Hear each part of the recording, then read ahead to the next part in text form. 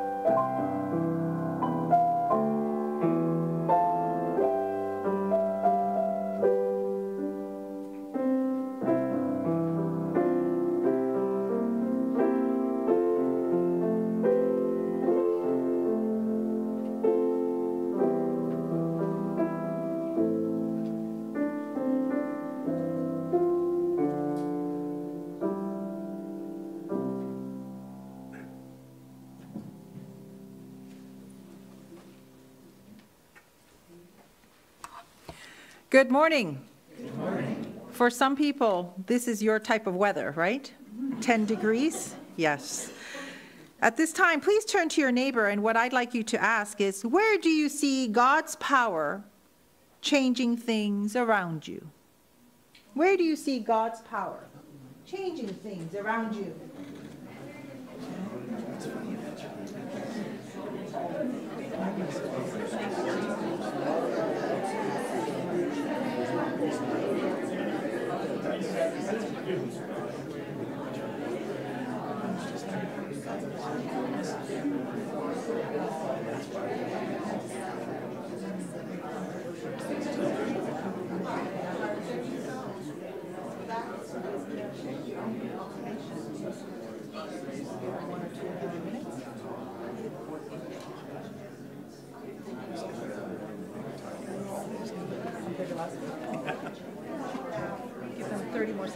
30 more seconds. Sure. People always say, you know, what- what's the point of coming to church? Why worship? But there's It other reminds aspects. It re- Other aspects, right? Yep. Yeah. It reminds you. Hmm. You can share that too if you like. Oh. Come on. Only if I steal your sermon.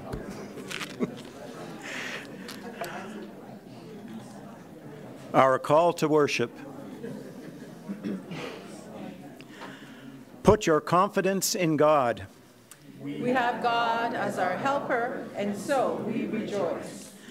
God gives justice to the oppressed and food to the hungry. God frees the prisoners and opens the eyes of the blind. So put your trust in God's goodness. May God's goodness endure forever. Let us worship God. Thank you, David. Let us join our voices singing our opening hymn, Praise to the Lord, the Almighty, hymn 321.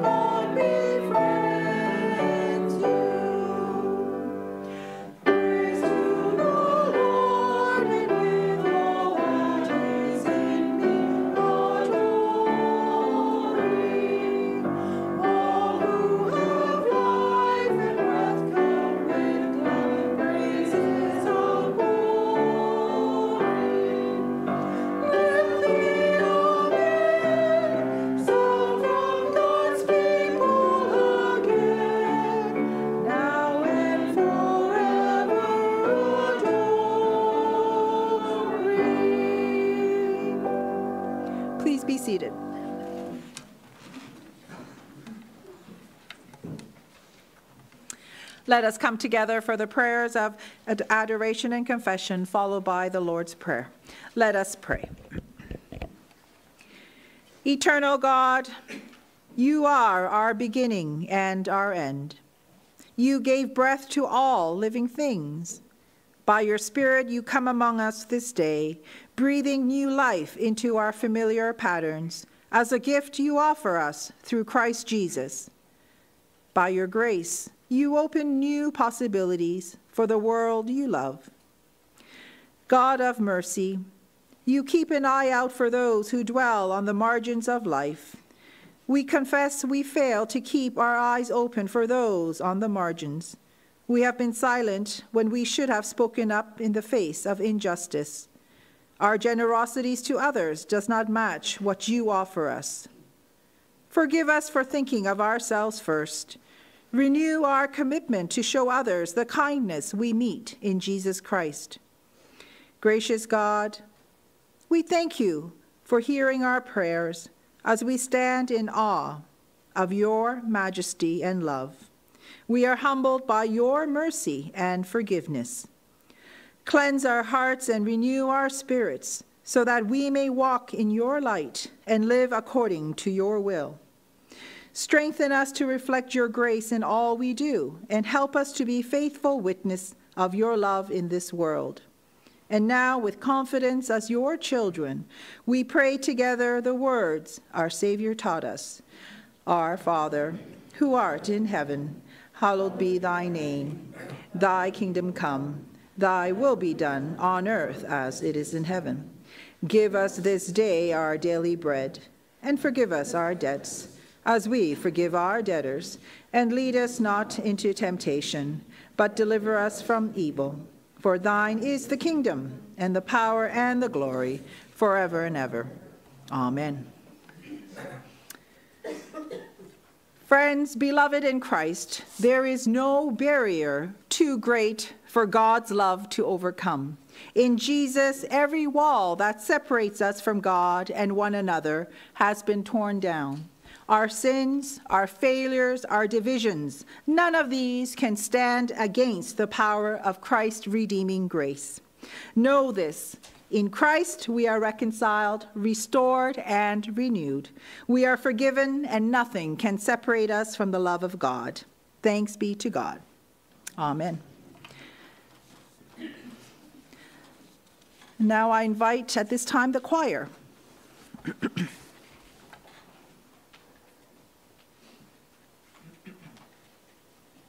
good to see everyone back again. And uh, to start the choir numbers off for this year, we've got a fun little number that I was introduced to uh, by the choir last year, and it's called Unto Thee, O Lord. And they told me it was a camp song, so many of you may know it. And so what we're going to do is sing the first verse by the choir themselves so they get the tune. And then you're welcome to join in. You can join the melody if you like the melody, or you can do the echo part, which the men are doing, the echo part. So, your choice.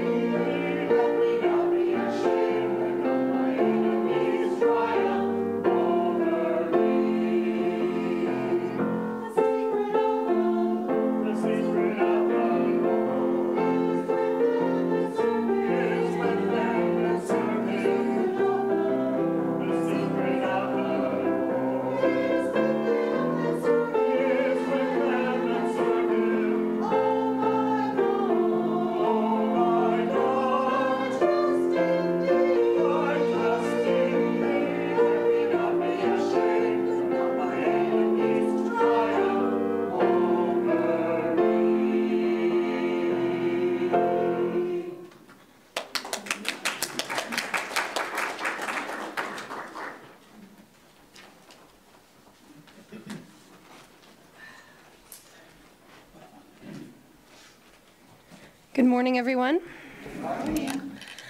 I wanted to talk about the theme of, of love this morning and love, God's love, and also love in our lives and how we experience love. So I want you to imagine something for a second. Imagine the biggest love you've ever felt. Maybe that was from a parent or a grandparent, a best friend, or even a pet. Picture that love like a warm hug, something that makes you feel safe and accepted. Now, here's the crazy part God's love is way bigger than that. In fact, in the Bible, Ephesians uh, 3:18 talks about how God's love is so wide, long, high, and deep that it's impossible to fully understand. It's like trying to measure the ocean with a tiny measuring cup. The ocean is way too big, right? And that's exactly how God's love is endless, overflowing, and always there for you no matter what. But here's the thing sometimes we don't feel like we're worthy of that love. We might feel like we've messed up too much we, or that we're not good enough. But in Romans uh, chapter 8, verses 38 to 39, tells us that nothing, absolutely nothing, can separate us from the love of God. Not mistakes, not failures, and not our bad days. Imagine if we lived life every single day like we really believed that, like God's love was always with us, cheering us on, helping us through the tough stuff. How different might our lives look? But the coolest part is that God doesn't just love you from a distance. He showed his love in the most real way possible by sending his son Jesus to die for us. And that's not just words, that's action. That's love that says, I'll do whatever it takes for you. So, next time that you feel alone or unloved, remember that God's love is bigger than any love you've ever experienced. It's real, it's constant, and it's for you. Let's pray together. God, thank you for loving us in ways we can't even understand. Help us to feel your love every day and to share that love with others. In your name we pray. Amen. I now invite the youth to join me for our time. Yes.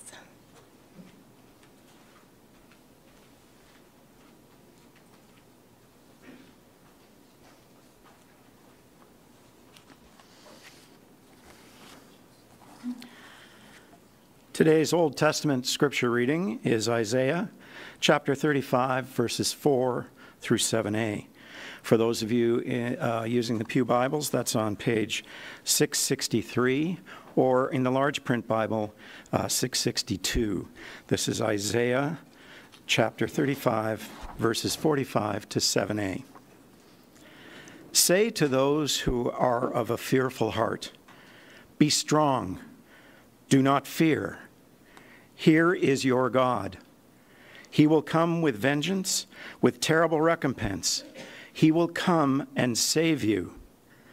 Then the eyes of the blind shall be opened, and the ears of the deaf unstopped. Then the lame shall leap like a deer, and the tongue of the speechless sing for joy. For waters shall break forth in the wilderness, and streams in the desert.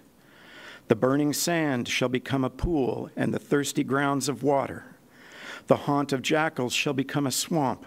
The grass shall become reeds and rushes.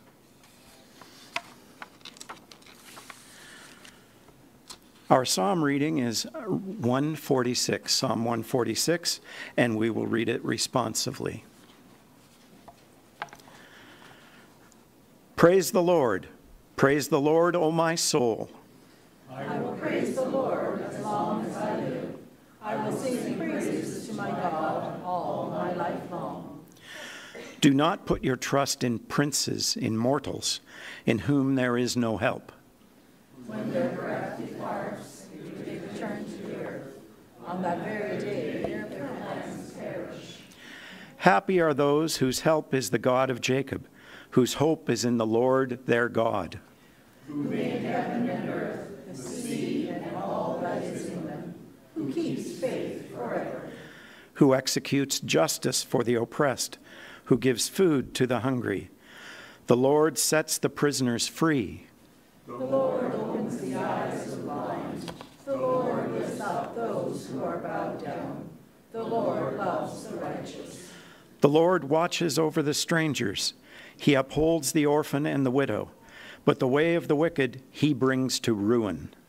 The Lord will reign forever. Your God, O Zion,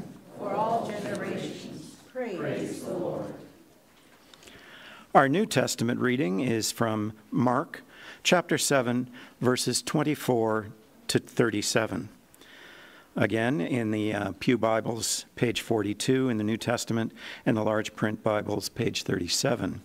That is Mark chapter 7, verses 24 to 37.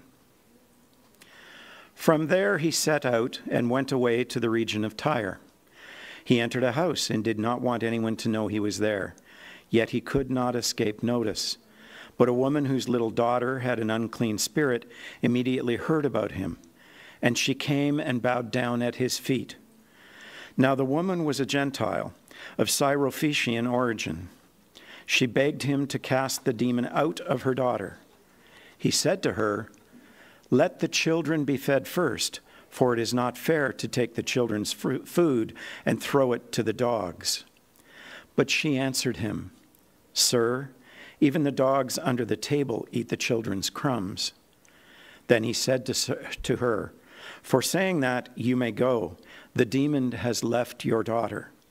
So she went home, found the child lying on the bed, and the demon gone. Then he returned from the region of Tyre and went by the way of Sidon towards the Sea of Galilee, in the region of the Decapolis. They brought to him a deaf man who had an impediment in his speech, and they begged him to lay his hand on him. He took him aside in private, away from the crowd, and put his fingers into his ears, and he spat and touched his tongue. Then looking up to heaven, he sighed and said to him, Ephphatha, that is, be opened. And immediately his ears were opened, his tongue was released, and he spoke plainly. Then Jesus ordered them to tell no one, but the more he ordered them, the more zealously they proclaimed it. They shouted beyond measure, saying, He has done everything well. He even makes the deaf to hear and the mute to speak. May God add to our understanding the reading of His holy word.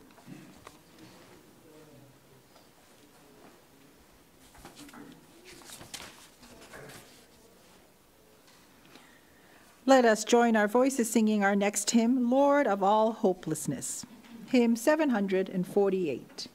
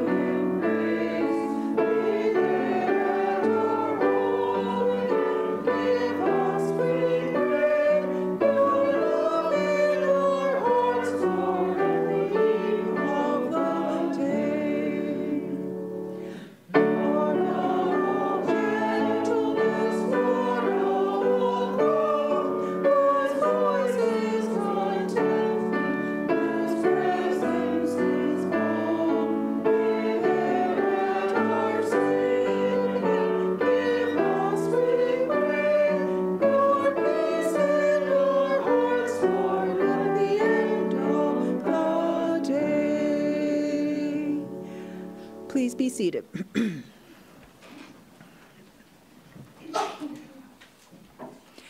Let us pray.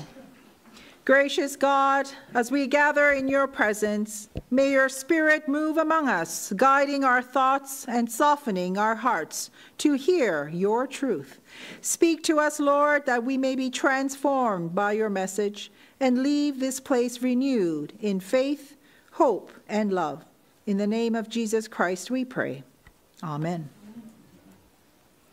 So, at times, our lives can feel dry and lifeless, as if we're stuck in place with no way forward. Grief, especially from losing someone we love, can take away our energy and joy, leaving us feeling empty and worn down. In these moments, it's easy to feel as though life has lost its spark, so to speak leaving us longing for a sense of renewal. Yet, this state, you see, is not permanent. As people of faith and followers of Jesus, we hold on to the promise that God will bring life back into our dry and barren places. Just as the prophet Isaiah said, God will restore us turning our deserts into fertile ground. He brings streams to the wasteland, reviving our spirits, renewing our strength, and transforming our sorrow into joy and hope. The people of Judah during the time of Isaiah were facing immense pressure and fear from foreign powers, particularly the Assyrian Empire, which had already conquered the northern kingdom of Israel. Their suffering, according to biblical scholar Michael Chan, says, is manifested in weak hands, feeble knees, fearful hearts, obscured vision, hindering hearing, broken bodies, and silent tongues, as noted in our reading from Isaiah. In the preceding chapter, though, the prophet Isaiah warned the people of impending destruction due to their disobedience to God. They had turned away from him, worshiped idols, and prioritized their selfish desires over caring for the poor and the marginalized. Today, Many countries around the world are facing similar pressures to those experienced by the people of Judah in Isaiah's time. The ongoing conflict in the Middle East, for instance, has left countless families living in constant despair, uncertain of what their future holds. They face the harsh realities of violence, instability, and displacement with many not knowing whether their children will grow up in peace or continue to suffer under the weight of conflict. In the midst of this turmoil, they wrestle with the choice between living in despair or holding on to the hope of a better, more peaceful future. On behalf of the Life and Mission Agency of the Presbyterian Church in Canada, Reverend Christian Persad visited Palestine and spent seven days engaging in conversations with Palestinian Christians, leaders from both churches and civil society, Palestinian, Palestinian non-governmental organizations, as well as Israeli human rights and Jewish religious groups all parties expressed a deep desire for peace and sought ways for Palestinians and Israelis to live together peacefully in the land. In our own lives, we also go through seasons of deep despair. Challenges like unemployment, financial struggles, and harmful influence can break families apart, leaving us overwhelmed by fear and anxiety. Some of us face the loss of loved ones or health issues that change our lives drastically. These difficulties often make us feel helpless as the life we once knew slips away. And we find ourselves questioning if hope is still possible amid such brokenness. While peace may not come overnight to places where people live in fear and terror, we know that God is indeed on the move. God, you see, is not static. God's salvation is marked by transformation, renewal, and new life. Just look at creation. Isaiah proclaims that water will gush forth in the wilderness, streams will flow in the desert. The burning sand will become a pool, and thirsty ground will turn into bubbling springs. The people of Israel can attest to this. God saw and heard their suffering in Egypt, and he was on the move leading them out of slavery to the promised land. From despair to hope, God guided them forward, showing his power to renew and restore. Yes, friends, God is on the move. Michael Chan says, The good news is that the God of Jacob does not abandon God's people to their despair. Their sorrow will come to an end, and on a day when the sick body will find new life in God. Let us read from Isaiah chapter 35, verse 10. And the ransom of the Lord will return. They will enter Zion with singing. Everlasting joy will crown their heads. Gladness and joy will overtake them, and sorrow and sighing will flee away. So, friends, this reminds us that even though their suffering is real, God promises healing and joy. Weakness, fear, and pain will be replaced with gladness and hope. God is always working to bring new life and joy to his people, no matter the struggles they face.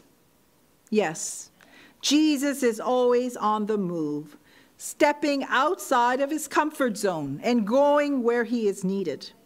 He doesn't stay in one village, but travels to reach people in different places. In Mark's gospel, our reading this morning, we see this clearly. In verse 24, it says, From there he set out and went away to the region of Tyre. Then in verse 31, it continues then he returned from the region of Tyre and went by the way of Sidon towards the Sea of Galilee in the region of Decapolis. These verses shows Jesus' willingness to go beyond familiar boundaries, bringing his message of love and healing to those who need it most.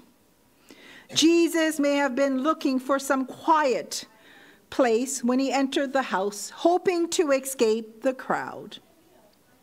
But as he was soon approached by a woman whose daughter had an unclean spirit, we know the daughter wasn't with her, as the woman came alone and bowed at Jesus' feet.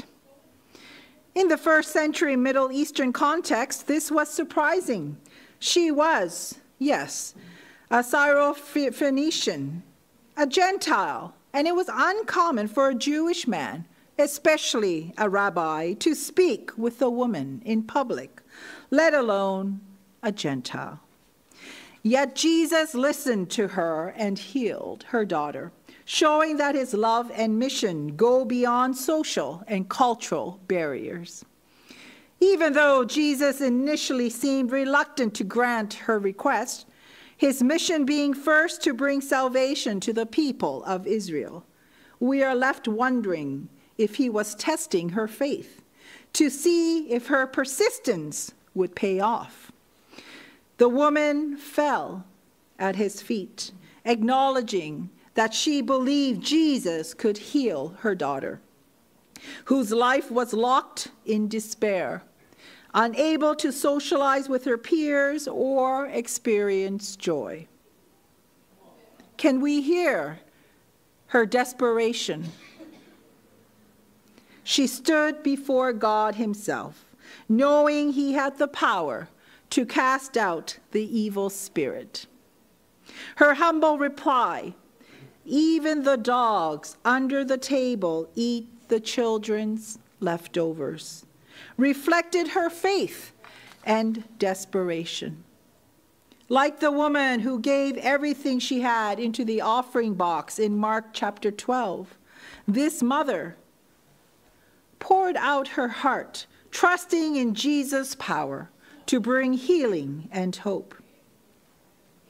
Jesus' ministry is one of transformation from despair to hope, from death to life, from separation to inclusion. Then Jesus said to her, You may go. The demon has left your daughter. And she went home, found the child lying on the bed, and the demon gone. Jesus traveled through Decapolis, a region of 10 cities with a strong Greek and Roman influence located along the eastern side of the Jordan River. Jesus' ministry is to spread God's kingdom and salvation to all people, not just to the Jewish community, but also to those of different races, cultures, and social economic statuses. It includes everyone, even those who are ostracized because of sickness, blindness, or leprosy. In Jesus' time, being blind, deaf, and mute was a difficult reality marked by social stigma and isolation. Many believe these conditions were caused by personal sin or inherited guilt, seen as divine punishment. As a result, People with such disabilities were often left out of social gatherings and family events. They had little chance for decent work, relying on begging or small tasks to survive. This isolation left them trapped in despair, dealing not only with their physical challenges, but also the deaf and mute was a difficult reality Many believe they had little chance of decent work. In this story, friends, it may have been the blind man's own family who brought him to Jesus, pleading to him to lay his hand on him. Once trapped in a life of despair and isolation, the man was now set free by Jesus' healing power. Jesus restored him, enabling him to live fully, participating in all aspects of life, including worship at the temple, something previously out of reach. As Jesus looked up to heaven and said, Ephphatha, which means be opened. The man's ears were open, his tongue was released, and he began to speak plainly. This miraculous moment transformed his life, freeing him from the limitations that had once bound him. Despair into hope. As we meditate on God's word in Scripture, we recognize that God meets us, especially in those moments when our lives feel dry and lifeless. Like a stream in the desert, God brings renewal and hope when we need it most. Let us join the psalmist in praising God for the gift of life and resist turning to worldly promises that cannot offer life giving water we seek. Many of us have experienced, yes, God's transforming power at various stages of our lives. As followers of the good news of Jesus Christ, we are called to be his hands and his feet, bringing hope and transformation to those who lack resources or are marginalized, those who are often excluded from full participation in our community. So I leave you with the true witness of how God transformed a young woman from hopelessness from despair to hope, from isolation to community. You can find this article on the, on the Raw Carrot celebrating its 10th anniversary in the fall edition of the Presbyterian Connection on page 16. Janice, a retired site manager, shared her touching story of starting a site to provide a job for her daughter. She says this When my daughter started working at the Raw Carrot, she had been unemployed for several years. She was struggling to find the correct treatment for her mental health issues and was completely unable to work in a traditional workplace. She was unhappy, bored. Hearing Colleen Graham, who is one of the founders of the Raw Carrot, talk about supported employment for people living with disability was literally an answer to her prayer. She continues to say that over the past seven plus years, her daughter has worked steadily at the Raw Carrot and has picked up other part time employment too. Supported employment has been the key to success at the Raw Carrot. Her daughter today feels successful and needed and productive. Now she can use those skills that she acquired at the Raw Carrot and do other jobs like house cleaning, gardening, and dog walking. She, had made, she has made friends with other volunteers and other employees. Employment with purpose is a huge part of having a life with purpose. Now she takes piano lessons, has joined the local green team, taken part in Toastmasters, and also has a plot at the community garden. Joined a self help recovery group and been part of a theater, theater theatrical production. Her life is full and rich.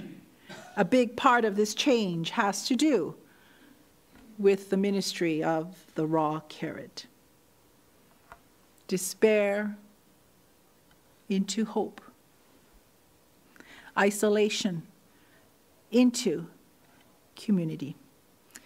So, friends, let us bring the words of Isaiah to those we encounter whose hearts are burdened and who feel overwhelmed by despair in their current circumstances. We can encourage them with the message Be strong, do not fear, your God will come. And for ourselves, let us hold on to God's promise, knowing that He moves, He moves us all from despair to hope. Amen. Let us join our voices singing our hymn, Oh for a World, hymn 730. Please be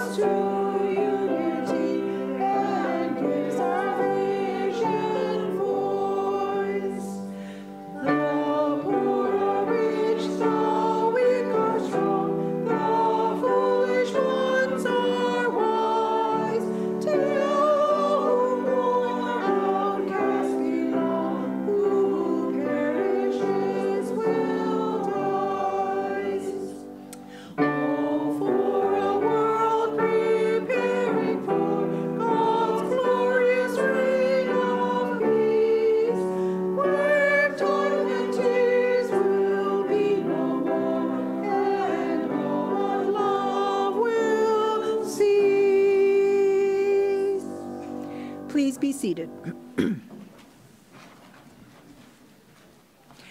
Let us pray. O God, in whom we live and move and have our being, we come to you in prayer as the summer season draws nearer to its close. We give you thanks for the occasions we have enjoyed to catch up with family and friends, to travel for recreation and restoration, and let our worries go. We are grateful for each moment to savor the beauty of creation. Refresh us for the season ahead, we pray, and renew our commitment to serve you. Loving God, Jesus faced many demands wherever he went and pressures from critics wherever he did, whatever he did. We pray for all those who have not found rest this summer for those whose work is stressful, exhausting, or unappreciated, and for those whose livelihoods remain uncertain because of circumstances beyond their control. We pray for those with hard choices to make about work or school or what comes next, about relationships and priorities, or about social policies and community leadership. May each one know your strength and guidance day by day. Today, remember those from whom this summer has been touched by suffering. We pray for those who have lost loved ones and those facing an uncertain future or a, a difficult diagnosis. We pray for those who have lost their homes for whatever reason, and for those who despair about the climate crisis and what can be done to repair the suffering earth. We pray for all those who join efforts to relieve suffering of any kind. May each one find courage to face tomorrow in your company. Loving God, we need the embrace of your presence, each in our own way. As we prepare to leave this service, walk with us and show us how to live each day as those who follow you.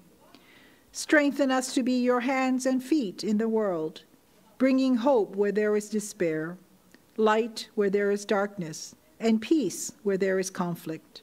Guide us by your Spirit as we seek to live out your will. We pray all these things in the name of Jesus Christ, our Lord and Savior. Amen.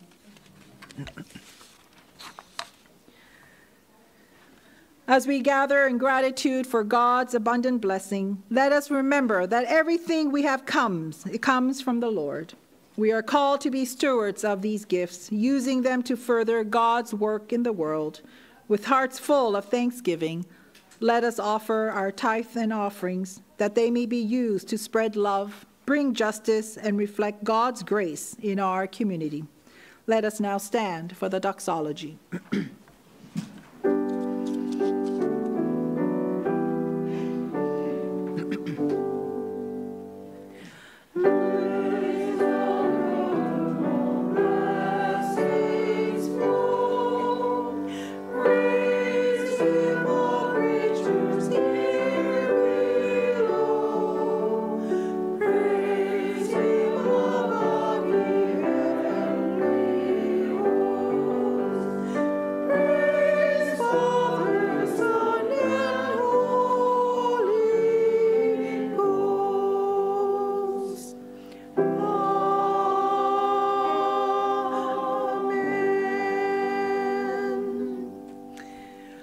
Let us pray. Generous God, you call us to reach out to those in need, in kindness rather than judgment, and with generosity, not just good intentions.